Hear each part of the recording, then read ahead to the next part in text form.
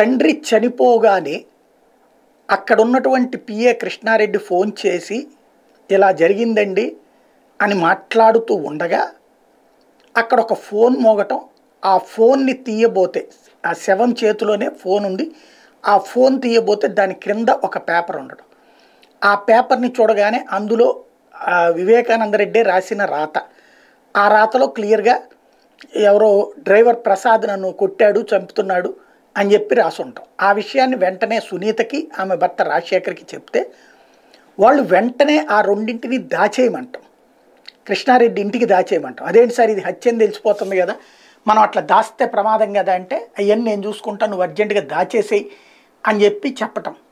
అంటే మొదట సాక్ష్యాలు తారుమారు చేయాలని భావించింది రాజశేఖర్ రెడ్డి ప్లస్ సునీత. ఆ తర్వాతన అవినాష్కి ఫోన్ చేసి నువ్వు అక్కడికి వెళ్ళు అని చెప్పటం. నాన్నకేదో జరిగిందట నువ్వు అక్కడికి వెళ్ళు అని చెప్పటం. వెంటనే అవినాష్ రెడ్డి అక్కడికి వెళ్తే ఆయనే మర్డర్ చేశాడంటూ కోర్టులో ప్రస్తుతం సునీత వాదనలు వినిపిస్తోంది. అసలైనటువంటి కథ అంతా ఇక్కడే ఉంది. సాక్ష్యాలు తారుమారు చేయడంతో పాటు తన తండ్రి చనిపోతే తండ్రి రా చేతి రాత తనని హింసించారని చెప్పిన రాతతో కూడిన లేఖని దాచేపిచ్చి ఆ తర్వాతన ఇదంతా కూడా సాక్ష్యాలు తారుమారు చేస్తున్నాడు అవినాష్ రెడ్డి అని చెప్పేసే వాదనలతో చాలా స్ట్రాటజిక్గా నడుపుకొస్తున్నారు సునీత. ఇప్పుడు ఆమె సుప్రీంకోర్టు దాకా వెళ్ళిన నేపథ్యంలో ఏదైతే మొన్న తెలంగాణ హైకోర్టు చాలా స్పష్టంగా అడిగింది అక్కడ మర్డర్ ఫర్ గెయిన్ కనబడుతోంది చాలా క్లియర్గా. ఒక డాక్యుమెంట్స్ ఏదో పట్టుకుని పోయామని చెప్పి సాక్షులు ప్రత్యక్షంగా చెప్తున్నారు. నిందితులు కూడా వాంగ్మూలాలు అంగీకరించారు. ఆ కాగితం ఏంటో ఈ రోజు వరకు సిబిఐ పసిగట్టలేదు. దీన్ని హై ప్రొఫైల్ కేసు పేరుతో రాజకీయ కోణం రాజకీయ కోణం అన్న పేరుతో ప్రచారం చేస్తున్నారు. ఒక్క రాజకీయ కోణానికి సంబంధించిన ఆధారం కూడా సంపాదించలేదు. రాజకీయ కోణం అంటే ఏంటంటే ఇట్లాగా అవినాష్ రెడ్డి టిక్కెట్ అని ప్రస్తావించారు. అవినాష్ రెడ్డికి ఆల్రెడీ టికెట్ కన్ఫర్మ్ అయింది. అట్లాంటప్పుడు ఇంకా అతను దాని గురించి మర్డర్ చేయాల్సిన అవసరం ఏంటన్న దాన్ని ఇక్కడ మెన్షన్ చేయలేకపోయారు. అసలు ఆ డాక్యుమెంట్ పట్టుకొస్తే కదా అసలు తెలియదు.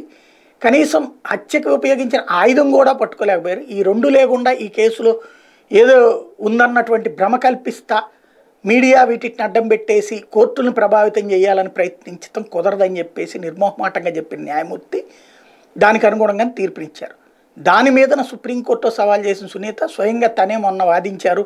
ఇంకేముందంటే పవన్ కళ్యాణ్ లాంటి వాళ్ళు కూడా మాట్లాడారు. అసలు విషయం జూనియర్లు వాదిస్తున్నప్పుడు సీనియర్ లాయర్లను ఆమె పెట్టుకోవడం వలన జూనియర్ లాయర్లను ఎవరైనా వాదించాలని నేనే వాదిస్తానంటే సరే అడిగారు. ఆ రోజునే ఆమె చెప్పినటువంటి దాంట్లో ఉన్నటువంటి పాయింట్స్ రైజ్ అయింది.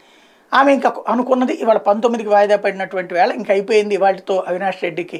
ముందస్తు బెయిల్ రద్దయిపోతుంది ఇంకేముంది అరెస్ట్ చేసేస్తారు. ఆవిడికి అవినాష్ రెడ్డిని జైల్లో పెట్టించాలన్నటువంటి కసి ఉంది. అది ఎందుకో తెలియదు అట్లాగే అవినాష్ రెడ్డి అని బద్నాం చేయాలన్నటువంటి ఫీలింగ్ చాలా బలంగా ఉంది. మేబీ అక్కడ ఎంపీ టికెట్ కోసమా?